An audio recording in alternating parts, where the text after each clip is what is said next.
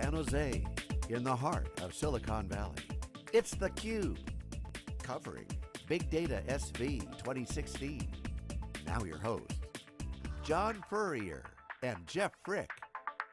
Okay, welcome back everyone. We are here live in Silicon Valley in San Jose at the Fairmont Hotel, right across the street from the convention center where Strata had Hadoop's happening as part of our Big Data Week and Big Data SV I'm John Furrier. This is theCUBE, our flagship program. We go out to the events and extract the signal from the noise. I'm joined by my co-host Jeff Frick, and our next guest is CUBE alumni Ryan Peterson, who is the, the, the hot property on the market, big startup, CTO, hot startup called Data Republic, formerly with EMC. You've been on before as yep. CTO at EMC. As EMC and Dell, you know, merged in, or Dell bought EMC, gone private. All that stuff's happening. So, you know, you're in the front row of big data now, doing a startup.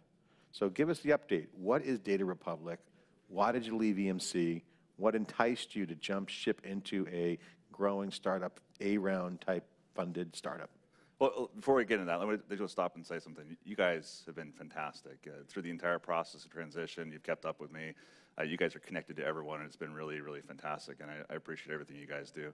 Uh, but let me tell you about Data Republic, and you know, I was at EMC, and, and we talking about data being the most important commodity of the future, and talked about how do you value data and, and how do you uh, how do you use that data for more value. Well, certainly everyone's been talking about the data lake and bringing everything into one place, but we talk about everything, and everything really is just your data. It's everything that you care about inside of your company, and in reality is that's a small slice of what a person's actually doing with you.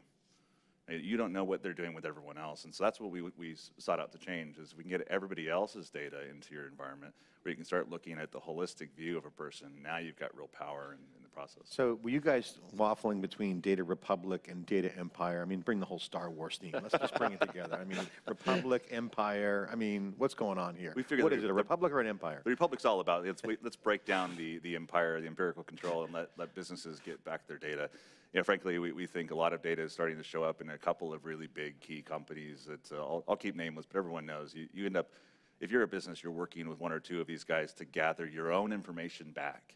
Well, that, we thought that was silly. That if you're if you're able to get your information and bring it into your environment, analyze it the way you want it, you shouldn't have to be uh, giving your information to someone and then having to pay for it. Well, it's, it's, it's always interesting because I think the, some of these big companies that, that we'll go and name that start with G and M and other things like that, you know, they figured out early on kind of the value exchange of service for the value of that data. Right. And, and the value of that data exceeded, obviously, what it cost for them to provide the service. And I don't think a lot of people really understood the value. And maybe the value as a solo person, it's not that much, and it's really the value in aggregate. So how are you kind of wrestling that back? That's, I'm sure a lot of people are, are very interested, A, to get it back, but two, to really start to to get uh, compensated or get value that's, that's worth what they're actually providing. So we decided to go closer to the source. So instead of looking at somebody who's observing our behavior, uh, we're looking at uh, what actually happened. So the fact that you searched for an iPhone on, on the internet uh, doesn't mean that you're necessarily going to buy one.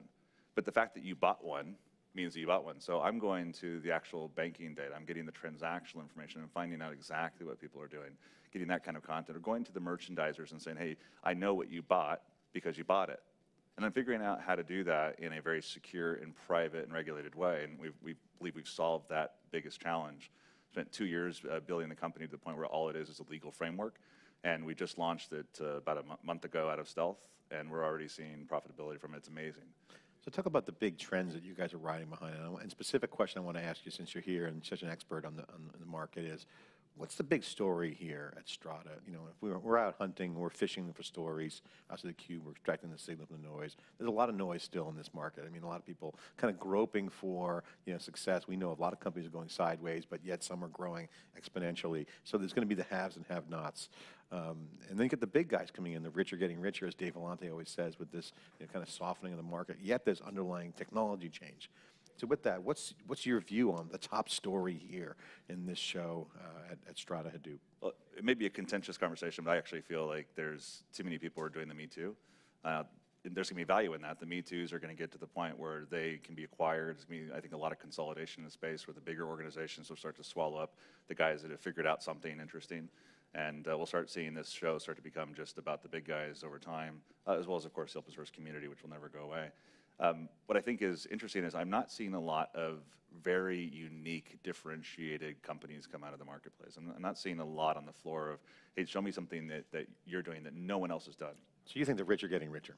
Yeah, we're getting richer, and, and I think that uh, the startups are spinning out and then ultimately spin back in. You got the Intels, you got Oracle, you got Cisco here, you got the big whales, and you got Cloudera, you know, not yet public, and you got Hortonworks, all, they're all here. So who's going to break out? Who do you think is going to be, uh, which category, I should say, you don't have to name companies, but like categorically, if you are going to implement this Data Republic, you hope people don't go away. Right. But you want certain actors to be in the market. Who are they? Well, c- certainly, I, you know, I think that you've seen the majority of the, the fight be uh, Cloudera and Hortonworks in the marketplace, uh, with MapR closely following behind. Um, I think that's going to uh, shift a lot. Uh, there's obviously been a lot of ups and downs in the Hortonworks stock. Uh, there's been a lot of big announcements by uh, Cloudera, um, some good and some bad. Uh, I think you know, MapR has actually made quite a lot of push in the, in the recent uh, history, my, from my view at least. I think that those three are going to continue to push forward. I think uh, um, you know Pivotal is, it looks like they've changed a lot of their uh, met- methodology and direction. at the same time, I think that uh, what they've done with ODPI is incredible. We're, we're going to see uh, those four players, uh, and as well, of course, IBM just doesn't, doesn't go away. So Data Republic, uh, it really implies, you know, data working together, data fusion, whatever word you want to use, essentially an overlay, mix and match, alchemy, whatever the term is. So I want to get your thoughts on a topic because you're so close to the action. You're really in that first party mode, right on the front lines. So um, a theme we've been kicking around in the journey of big data, which you're on, continuing on, and now it's a little bit hotter in your kitchen because you're in a startup. You got a lot of pressure the big, the big company, the EMC. But three areas I want to get your thoughts on: completeness, integration into production, you know, in, invention, innovation, and production, and three, hybrid cloud. Hmm. Those three areas. Talk about what that means to you in the in this industry scope of are we complete? What needs to be completed?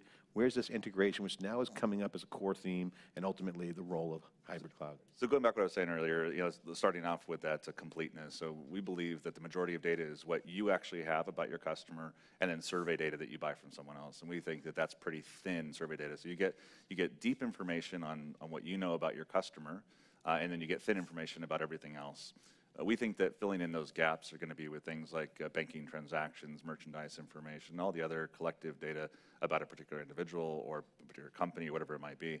And that's going to complete the actual uh, data set. So completeness on the progress bar of completeness, halfway there, uh, not complete. We're certainly incomplete if you think about it. I think that the, the most successful organizations at building a data lake and have all of their data in there are still only 10% the way there. They, they only have a small, very small slice of the data that they need to truly be successful. So that's why I really wanted to dig into data sharing and data exchange and how do you get information from other companies. It's really, really hard. So we're problem. incomplete on a road to completion. Yep. Okay, now integration. This seems to be the new barriers to entry that some startups can't get over the hurdle on because there seems to be enterprises saying, okay, we've done some data laking stuff, we've done some Hadoop, but I got to integrate it in with a lot of other operational systems. Your thoughts on that? Yeah, I think uh, part of the problem is that the, there's so many different tools to choose from, and there hasn't been a lot of consolidation yet. That'll that'll get better as we start to see tools combine with each other, and so the bigger organizations bringing a higher class of product than the smaller guys can actually create. I think that uh, the the idea that uh, governance has been a real problem of data. Uh, we're seeing great companies emerge like Water, uh, Waterline and Zaloni, uh, trying to solve these uh, these challenges of governance and cataloging. Part of the problem has been it's just another place to put the data. We've extracted it from the, the data warehouse. We've now put it in a data lake. Now what? It's the same thing I had before, just a bunch of flat files that I have to figure out how to work with. You got to new use it. tools. It's got to be usable, right? It's got to be usable. It's got to be searchable. It's got to be findable. And I think that the next step is really to integrate truly. You've got to get to the point where you can find all that data, search through it, and then also find data sources outside. Okay, hybrid cloud. Just the compute engine role of it, is it relevant, irrelevant, non-factor, or just, just compute or deployment factor? Yeah, I think uh, the companies that push hybrid cloud uh, think that it's very relevant and very important. And I think that to some extent there's truth to that. There's certain things you don't want to see outside of your organization, your physical organization. And there's some cases you're, you, you want stuff in the cloud, and, and people are saying, well, hey, let's try and keep both because the people who are losing on either side want to say, well, it's better to work together, right? so hybrid cloud, I think, is a word to say, hey, let's, let's try to keep uh, our data where people care frankly, it's a bit of a challenge, and it's something I was working on uh, quite heavily at EMC. Was how do we how do we make it so that you can analyze data that is uh, geographically disparate? When you have data that's in a cloud and data that's on local, and you know that having that locality is really important to get to the point where you can uh, search through it and run through it. How do you how do you make that happen?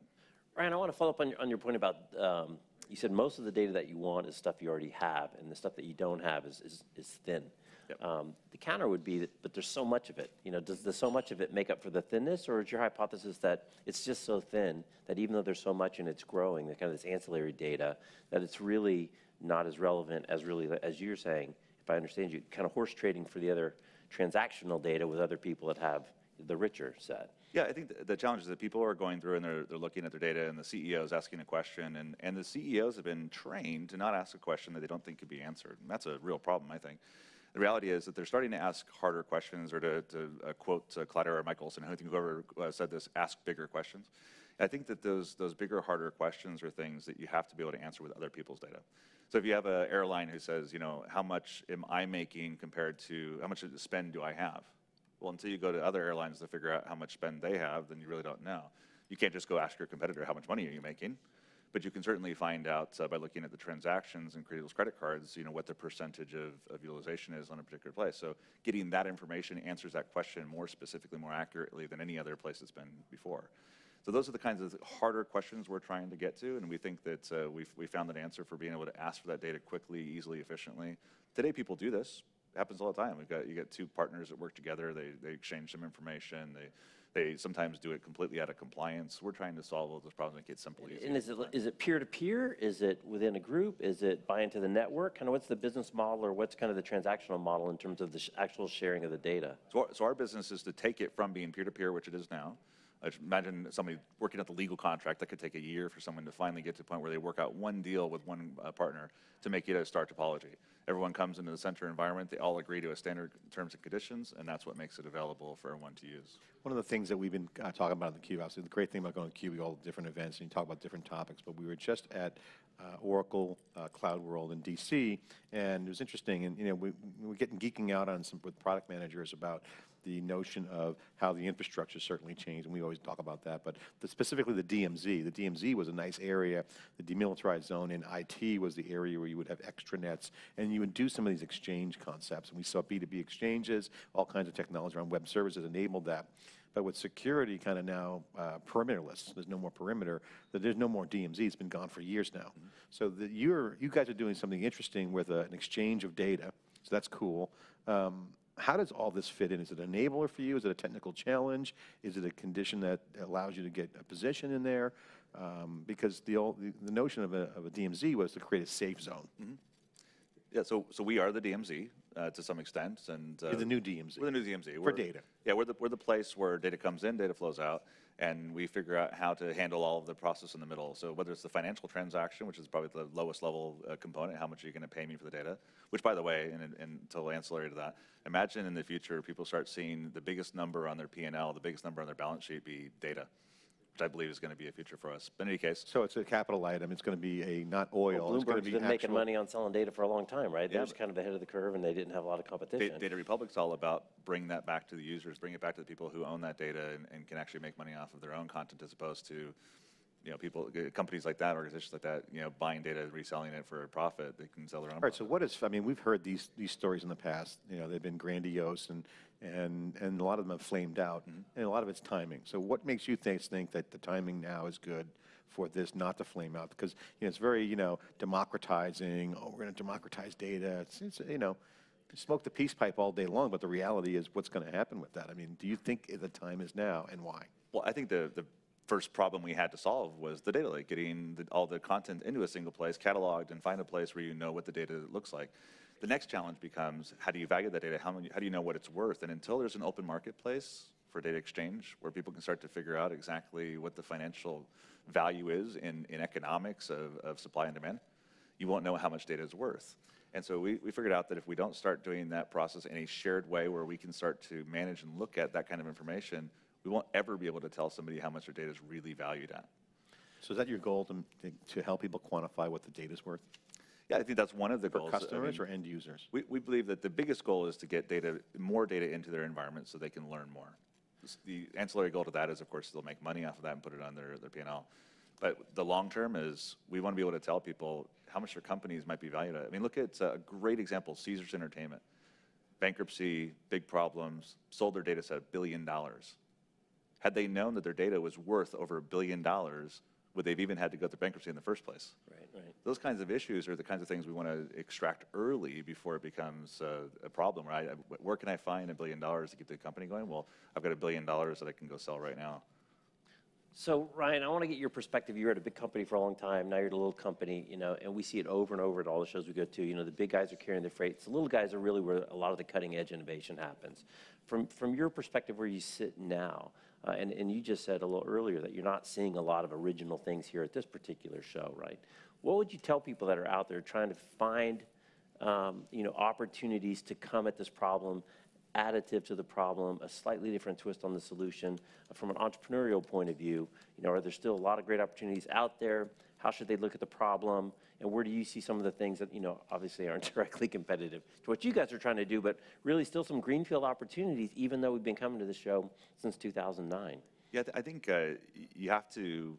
Um, you know, it's hard to, to, quote Steve Jobs, but I think he's got that great quote out there about you know you have to build what, what people need, not what they uh, ask for. I think part of the challenge is a lot of companies just look at you know what are what are people asking for, what's the market analysis, and they tend to do this like a superficial view of things. You really have to look at what could completely change the world, and, and I think I've told you guys in the past, I'm all about let's change the world, let's do something and, and change it for good. But how do we make it better, faster, easier?